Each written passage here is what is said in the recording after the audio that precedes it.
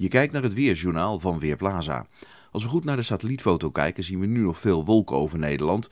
Maar in het noordwesten en zuidwesten zien we al opklaringen en we zien er veel meer op de Noordzee klaar liggen. Die trekken ons land in en betekent dat de zon vanochtend van tijd tot tijd schijnt. Er valt misschien nog een enkel buitje in het oosten of zuidoosten. En dat is ook vanmiddag het geval. Dan kan er in het eh, oosten, zuidoosten een enkele bui ontstaan. Verder blijft het op de meeste plaatsen droog met wisselend weer, met zonnige momenten en wat wolkenvelden.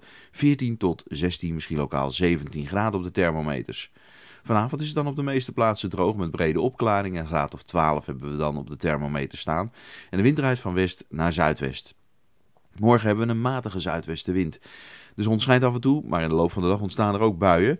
En eh, dat betekent dat we toch wel de paraplu mee moeten nemen. De wind uit het zuidwesten hebben we al genoemd. Temperaturen 16 tot 18 graden. Dan gaan we naar de donderdag. Dan loopt het kwik lokaal op richting 20 graden. Maar ook dan is het niet helemaal droog. De zon schijnt wel. Maar in de loop van de dag ontstaat een enkele bui. En eigenlijk is dat ook voor vrijdag en zaterdag het geval. Geleidelijk zien we steeds verder oplopende temperaturen. Zaterdag meer dan 20 graden. Ik ben Marco Verhoef van Weerplaza.nl